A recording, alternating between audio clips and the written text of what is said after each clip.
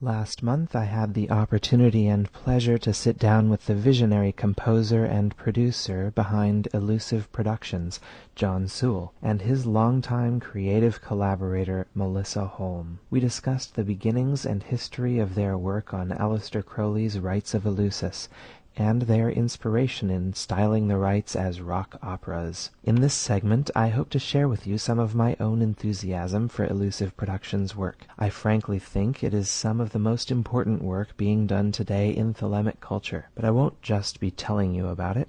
You'll hear three pieces, one from Luna, one from Venus, and one from the upcoming Rite of Mercury. Here first is Uncharmable Charmer from Eleusyve's 2005 production of The Rite of Luna, a rock opera with verse by Aleister Crowley.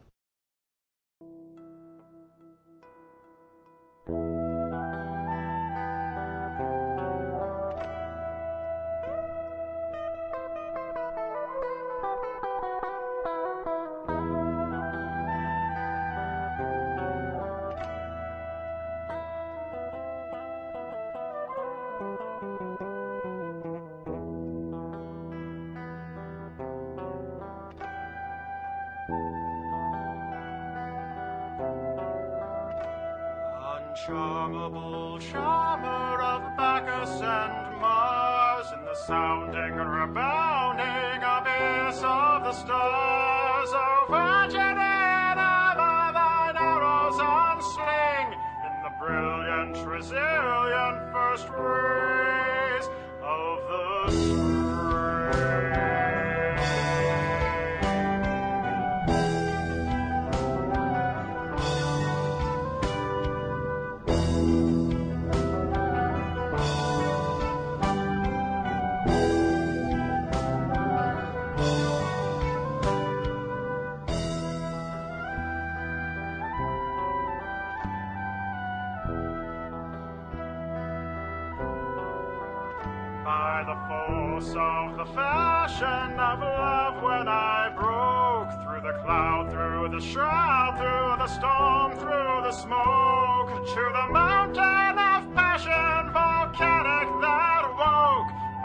Of the mage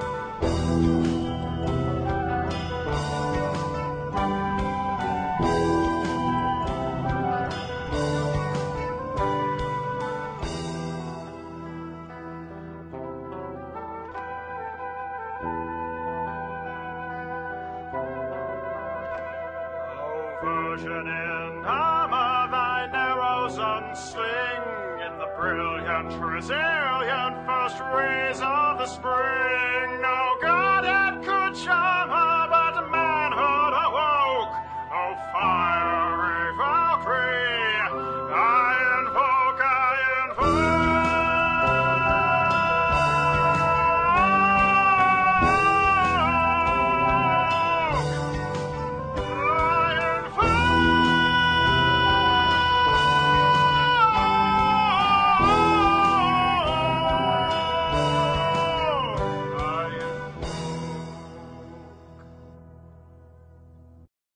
The actual history of that uh, involves local Seattle area OTO bodies. There was a specific body that was doing the rites, and they were doing seven cycles of 7 And they would basically just pick a, a local person who was interested and say, "You get to be the god form, and you get to direct your own rite." And so I was asked to do the Rite of Jupiter. And I said, okay, yeah, that'd be cool. And so I started reading through the Rite of Jupiter, and it was really neat. And I, uh, I had a really slow internet connection at the time. And so I had downloaded it off the internet and was printing it on my printer. Mm-hmm. Only I lost connectivity somewhere in the middle, and so I only got the first half. Mm-hmm. And so I had the first half of the Rite of Jupiter, which is mostly poetic. Mm-hmm. There's very little prose, and I thought, well, hey, this is great. It's all poetry, and I kind of like the tunes and stuff. And I had a little music laying around. I was a musician, and I thought, hey, I could put this to music. It's kind of a neat idea. Then I went to see Rent, like as an afternoon matinee, and as I was walking up the hill from having watched Rent, I turned to the person I was with and I said, I could do that. We're going to do Jupiter as a musical. And Weren't so- you on your way from Rent? I was on my way from? Rent to the first rehearsal. I literally walked into the room and I said, "Who here can sing?" And three or four people raised their hands, and I'm like, "Great, we're doing a musical." and so we started. I can imagine the horror on their faces. it was actually really entertaining. It was a look of, "Oh, we are." I guess we are. no one told me it was a musical. And uh, but what was really funny is I thought it was going to be really simple because I had half the play. And so what we were sitting there going over di- dividing up parts, and then somebody came up with a book and said, "Well, well, what about these songs? What about the?" And I said, "I my mine ends after twelve pages." well, then uh, I guess you could write some of that.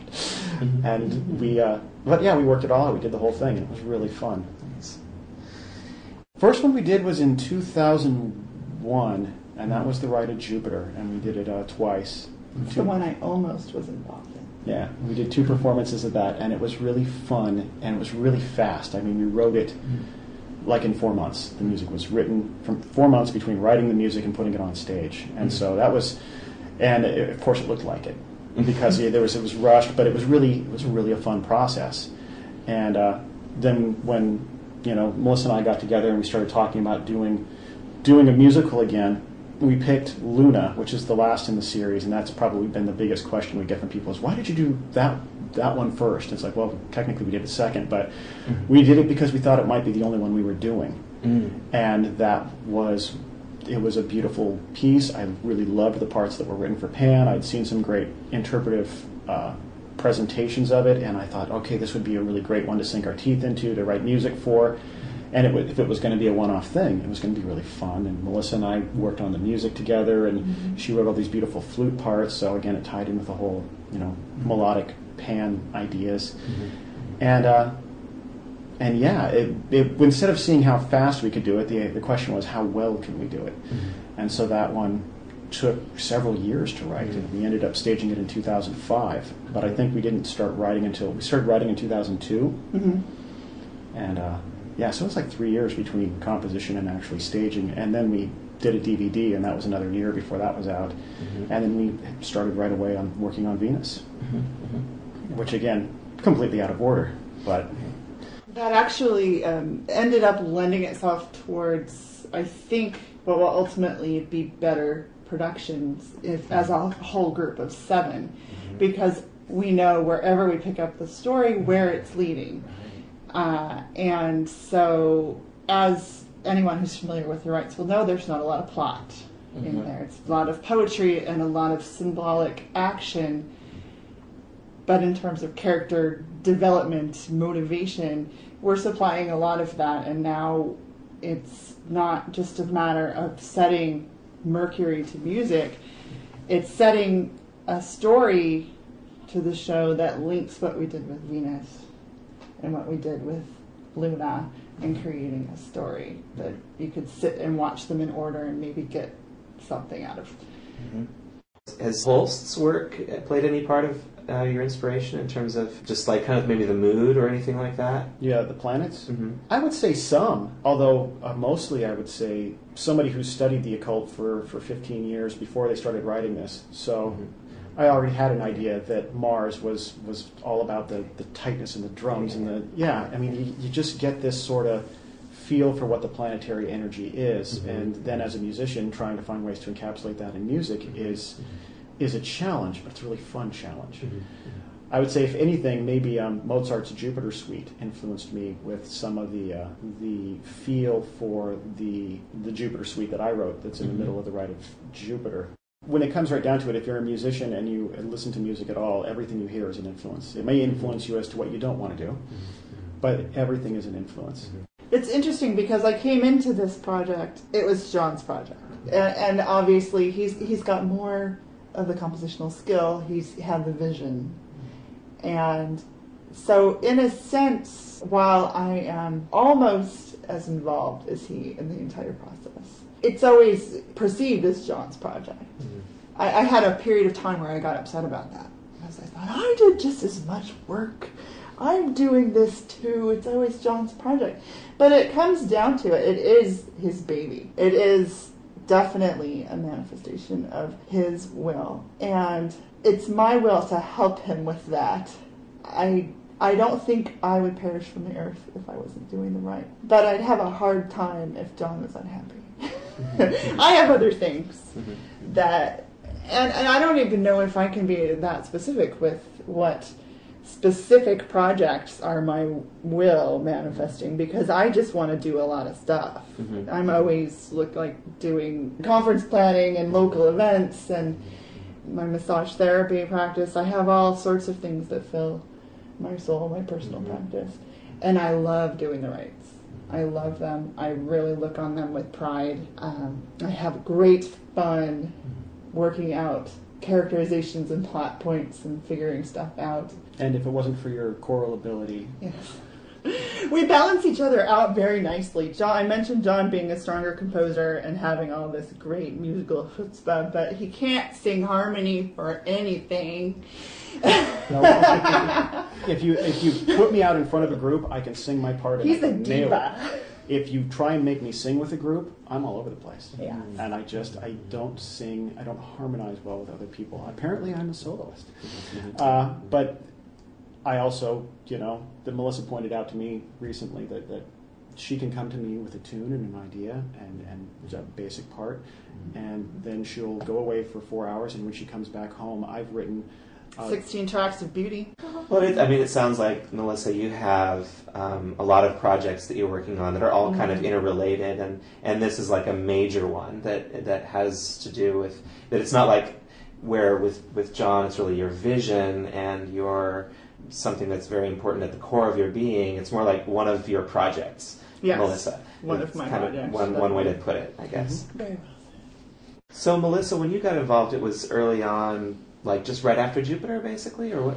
I met Jon right in the middle of his production of Jupiter, and he needed Maenads in in the worst way, and he wanted me to be a Maenad. And I said I wanted to, but at the time I was running a local, helping run a local pagan organization. I was really busy. So I called him and said, sorry, can't do it. Mm-hmm. So we actually ended up having it, it wasn't nearly the way that we had initially envisioned it, and that was sad because it, when it was sung, it was very pretty. But uh, but that's what happens.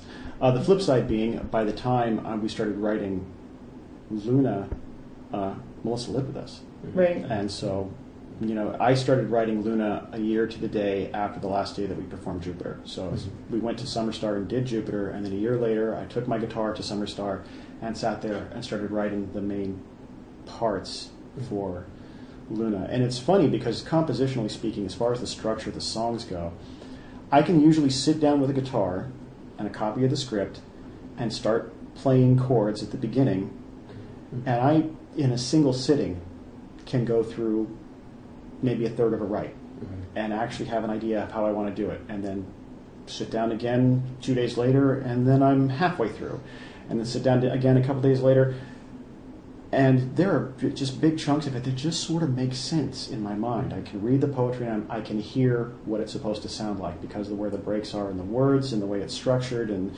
and then the moods that are there. And we, we put a lot of thought into it again before, you know, you'll read through the rite a few times and put a lot of thought into what's happening and, and what the emotions are before you sit down and write a single note of music. Mm-hmm. Once it's time to write the music, it's almost easy. It's like breathing mm-hmm. Mm-hmm. You will actually find that there are sections of Mercury that are going to show up in Saturn. There are sections of Venus that are parts of what we're doing in Jupiter. Mm-hmm. There are themes associated with characters and character ideas that are it's in a sense it's a singular work. Mm-hmm. And so you will, if you're listening to Mercury, you will say, hey, that's a theme that shows up later in Luna. And in mm-hmm. fact, if you then are looking at the plot of Mercury at that time and comparing it with what's going on in the Rite of Luna when that theme is being played, you'll recognize that there's actually a, a juxtaposition of ideas going on there. Mm-hmm. And so it's, it's all very intentional. Mm-hmm. Mm-hmm. The kind of thing that I'm hoping people years from now will be pouring over and going, wow, that was brilliant. They put all kinds of thought and planning into it. And we do. I mean, uh, honestly, there's a lot of meditation and obsessive recomposing of things and restructuring of ideas that I don't think most people see at this point. But as the pieces progress and it becomes that single larger piece, it's going to become more evident. At what point did that larger vision of, of like a single composition kind of crystallize? By the time we were working towards staging Luna, we knew that we were going to want to do more, and some of the music was actually modified in ways to make that work better. Hmm. And so then there are pieces of music that are happening at the end of the Rite of Luna that are already the early sketches for the Rite of Saturn are going to contain some of those same themes so that it, it it's the Ouroboros as it eats its own tail. But yeah, long story short, by the end of Luna, we realized we were going to want to do more, and we mm. started thinking in broader terms about connecting the ideas of one to another. We're really looking forward actually to redoing Jupiter because as it is now, there's some beautiful pieces in it, but it lacks anywhere near the cohesion of what we've done since. And uh, it's definitely a standalone trial. It's a very beautiful sketch that we're going to go back and we're going to do an oil painting over. Here is an excerpt from a 22 minute composition around the verse of St. Swinburne, a poem which Crowley included in the Rite of Venus entitled Hertha.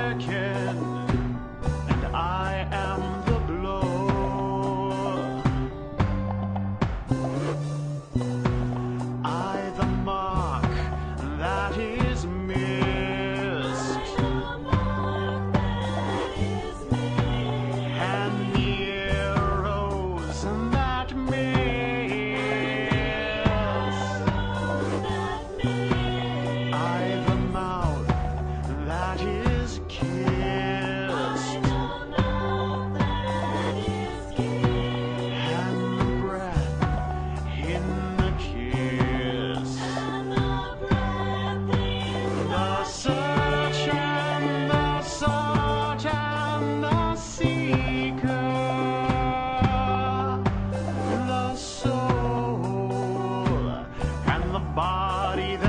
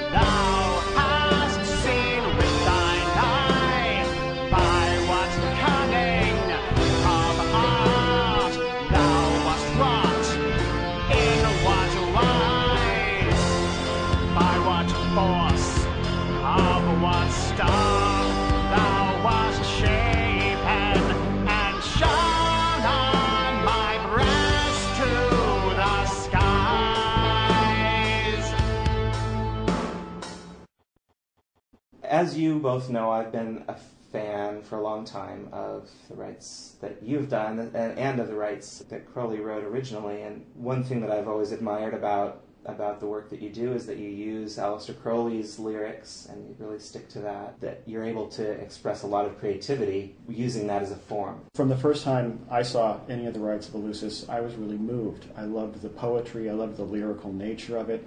I loved the structure, and it was really important to me from the beginning that we not change any of the words because that's the, the first thing that people tend to want to do if they're going to put something to music is they want to change the words around. And we've gone through that with some of the composers we've worked with, and they're terrific people and they're very talented.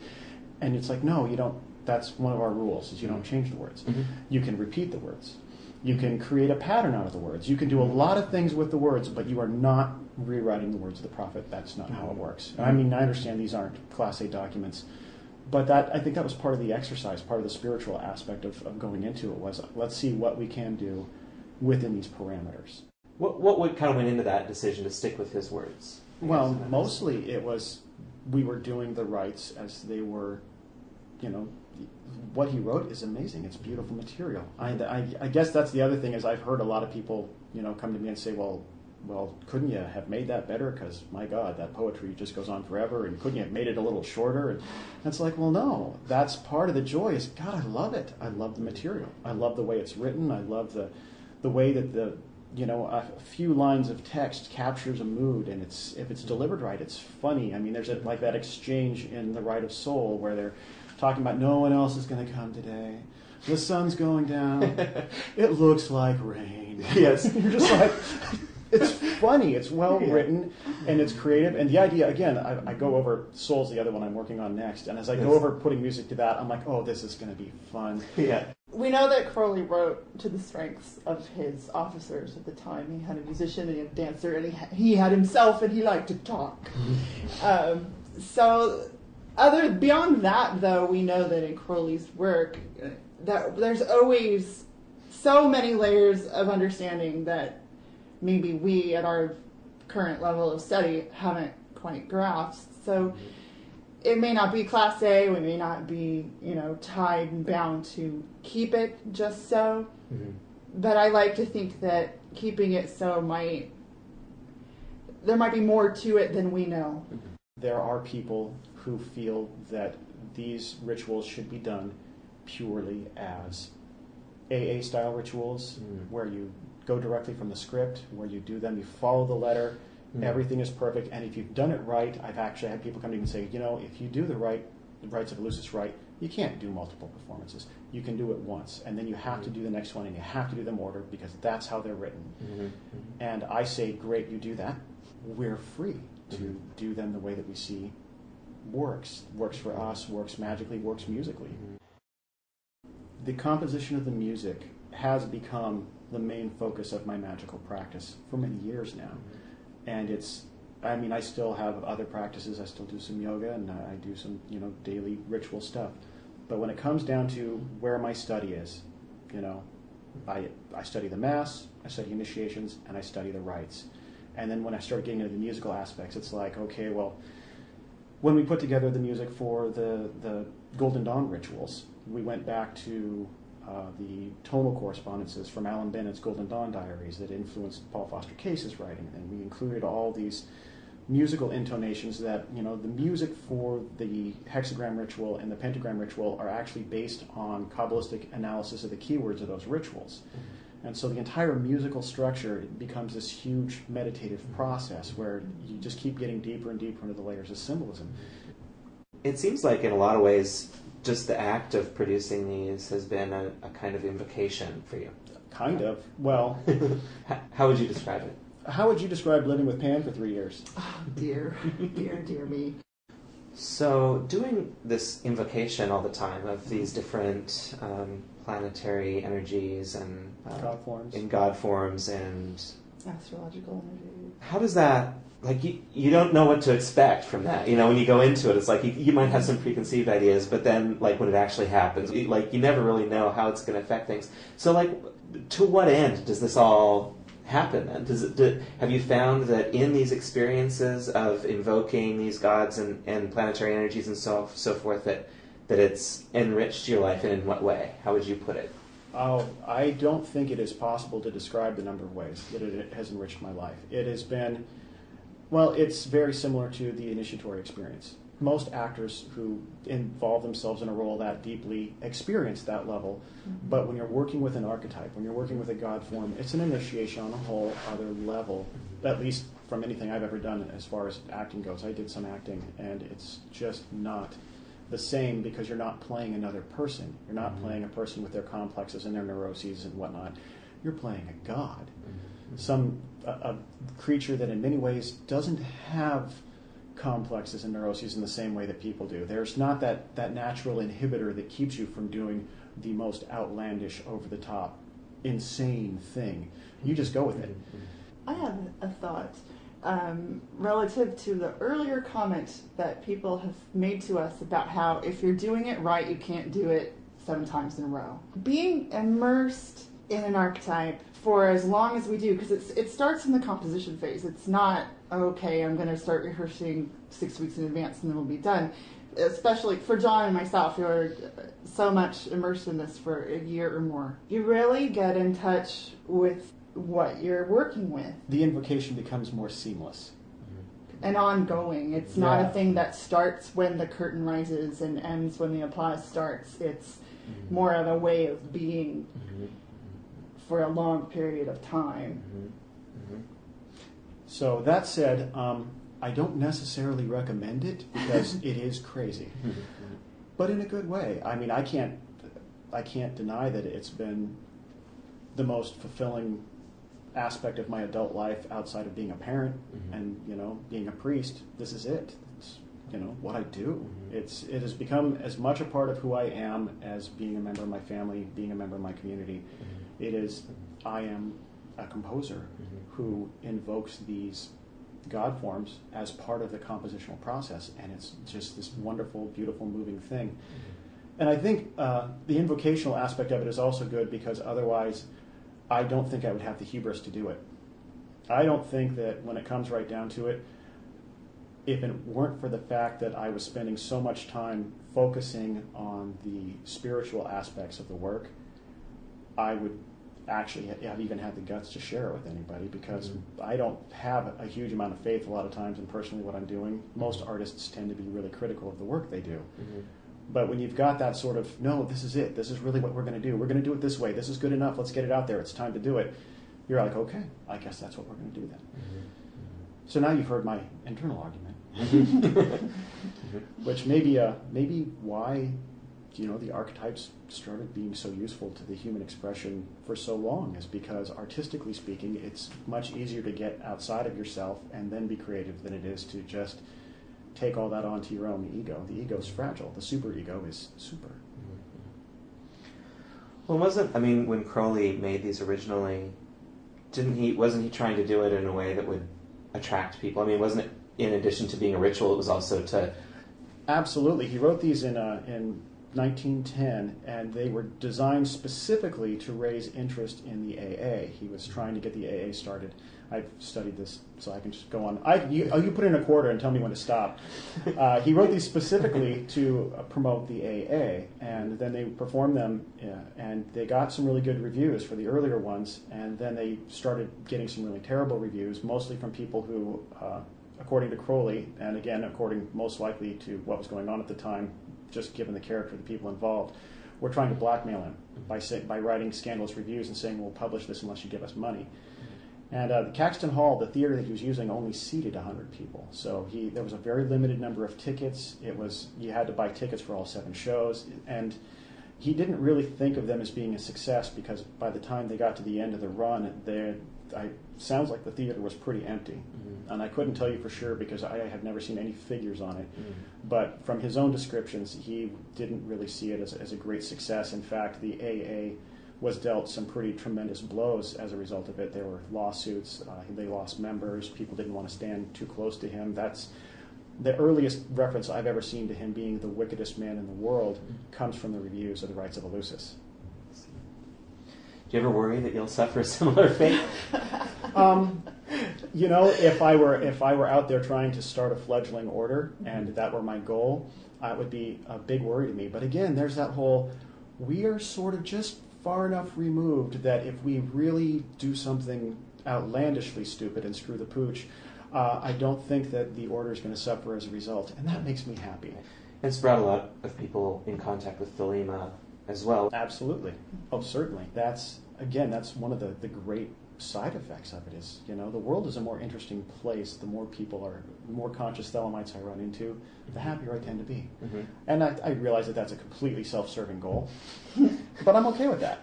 I, I want people to be more interesting and more fun and, and more creative. And, uh, and if I can help inspire them to do that, sweet, my world's better. As a promulgation tool, it's been quite successful, though, as you say. Um, how many people have been exposed to the concept of Thelema? Um, just the Luna run, we had what four shows at 80 to 90 people in attendance, and there's only you know the local OTO body is maybe 30 to 40 members at any given time. So this the sheer number of people who came to see it who have nothing to do with the order, who have never heard of Thelema before. So there's a lot of correspondences in the in the in the symbolism of the rituals. Yes, and, and you, absolutely. and you bring that into the. Do you want to talk a little bit about that in, in terms of bringing that into the both the music and the setting of the of the plays?